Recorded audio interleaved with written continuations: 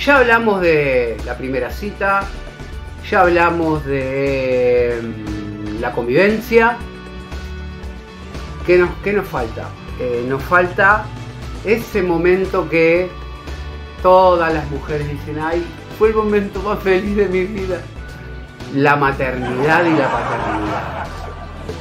Cuando, cuando a uno le preguntan o cuando le preguntamos a una mujer que tiene hijos, ¿cuál fue el momento más feliz de tu vida?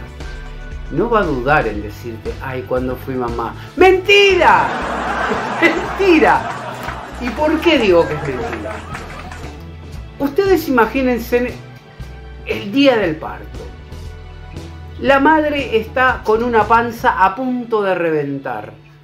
Un estrés galopante que no sabe a qué hora le va a tocar eh, eh, salir corriendo al sanatorio o al hospital.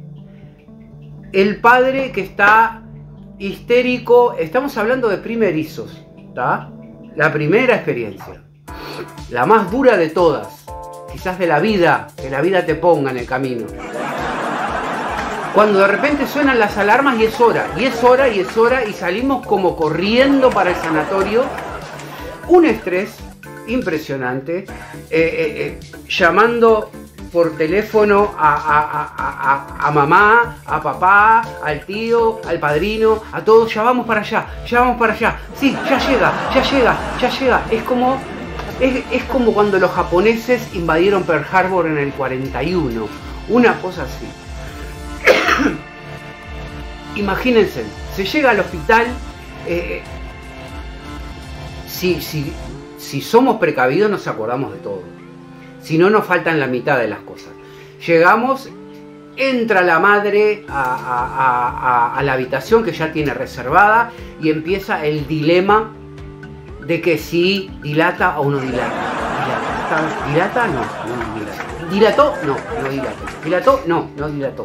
Viene la enfermera, le mete el dedo, no, mamá, todavía no, todavía no. A la media hora la mujer ya está. Te agarra la mano y te la deja. Viene la enfermera, ¿dilató? No, no dilató. Allá las cansadas parece que dilata. Se la lleva Epidural, epidural, epidural. Eso fija. No agarra la epidural. A mí me tocó ver a la madre de mis hijos eh, en un momento que yo pasé por el pasillo porque yo iba a ir a presenciar ese momento del parto. Y me tocó verla a ella en cunclillas tratándole de meterle una aguja de este tamaño en la columna y me dio una pena tan grande, me dio, una lástima tan grande, fue, una sensación tan horrible, qué momento feliz. Feliz la pelota, ella feliz. Si le, hubieran visto la cara, ni se lo digo. Eh, cuando nació Emma, bueno, le tuvieron que dar anestesia general porque la epidural no agarraba, así que se perdió ese momento maravilloso de, de su vida. Lo tuve yo grabándolo con el celular. Y ahí no termina. No, ahí no termina. Imagínense que a ustedes los meten en un helicóptero 1971. Los meten en, un helicóptero rumbo a una de las playas de Hanoi en Vietnam y ustedes van a la guerra. Van a la guerra. se acercan a la playa y los hacen pararse del helicóptero y así como se paran los empujan. Como pueden abren el paracaídas y caen en el medio del fuego cruzado de Vietnam. Eso es la paternidad, esos son los primeros días. Caemos, imagínense, vamos a revisar nuestro equipaje porque se supone que tenemos algún fusil, que tenemos, no sé, una ametralladora, algo. No, tenemos un cortapluma nos mandan a la guerra con un cortapluma. Y ahí, arrastrándonos como podemos entre la arena, vemos los cadáveres esparcidos por todos lados los que vuelan hacia por nuestros costados, esquivando el fuego cruzado, nosotros con el cortapluma tratando de darle a lo que venga, nos lastimamos entre nosotros porque el, el momento de nerviosismo es tan grande una vez que nosotros tenemos esa criatura en nuestra casa y estamos tan estresados que qué pareja no empieza a gritarse o a, o auto lastimarse. ¿No ves que está llorando? Atendela, que yo no puedo, que estoy en el baño, que eso, que lo otro. Y nosotros corremos para allá. No sabemos cambiar pañales, la mayoría. Eh, yo me acuerdo con mi primera hija, eh, me quise hacer el valiente y fui el primero en cambiarle los pañales a, a Cecilia. Cuando abrí eso, era una mermelada verde por todos lados que se me pegoteaba. Eh, yo pensé que iba a encontrar una caquita de, de, de, de, o de... No, ¿qué, qué caquita? Eso era... Era la cosa más asquerosa que Y no salía con nada. Le pasaba algodón y no salía con nada. Y esto es igual a Vietnam. Nos largan a Vietnam sin una metralleta, sin un cuchillo como la gente, con un con, un escalpelo, con un cortapluma, y nosotros vamos ahí, nos lastimamos entre nosotros, allá en las cansadas encontramos una trinchera. Nos tiramos de cabeza dentro de la trinchera. Y ahí, vos, vos haces guardia tres horas. Yo voy a intentar dormir. A las tres horas despertame. Ok, ok, dale tranquilo. Y ahí empezamos a, a turnarnos porque el bebé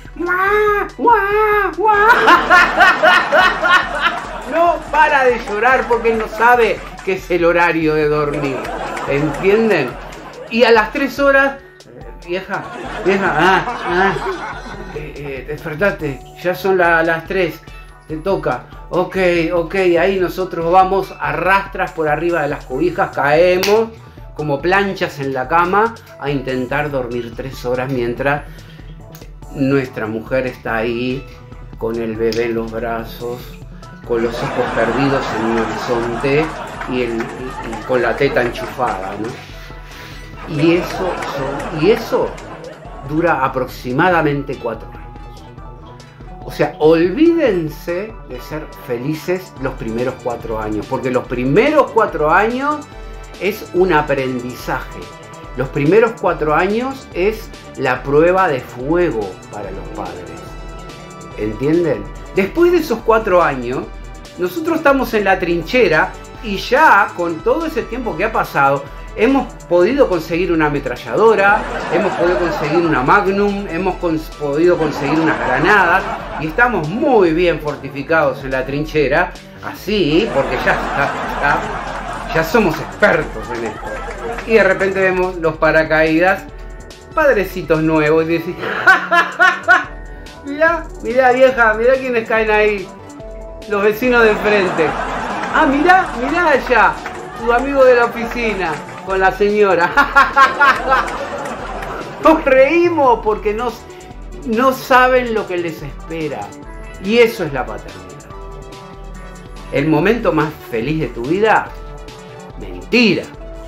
La paternidad, tanto para la madre como para el padre, es uno de los momentos más duros que puedan existir en la vida. Hasta que nos hacemos vaqueanos, hasta que aprendemos y con los ojos cerrados ya cambiamos Medio dormido, trae como si fuera un paquete, así, pa, pa, pa, pa, pa, pa, pum, pum, pum, toma a dormir. así, la vida es así. Que no nos vendan el cuento romántico de, ay, la paternidad es el momento más divino de nuestra vida. Mentira, mentira. Empezamos a disfrutar a nuestros hijos cuando nuestros hijos ya más o menos pueden valerse por sí mismos. Mientras estamos en un estrés constante y donde no haya una eh, colaboración entre, porque hay padres que, ah, no sé, ahora arreglate como pueda, los hay. Ahora, cuando hay una verdadera colaboración en la pareja para que esa criatura sobreviva, sobreviva y se transforme en un adulto hoy o mañana, no es nada fácil. No es nada fácil Qué casualidad estoy hablando de esto y estoy escuchando un helicóptero. Bueno amigos, hasta acá llegué. Piensen, ¿van a traer un hijo al mundo? Piénsenselo bien. Lean cuánto libro les tengan a mano sobre cómo cuidar a un bebé. Apréndanselo de memoria y quítense en esa idea romántica de que va a ser divino, porque no va a ser divino. Va a ser caótico. Van a tener que tener un temple de acero para no matarse. Esa es la mando Y muchas gracias.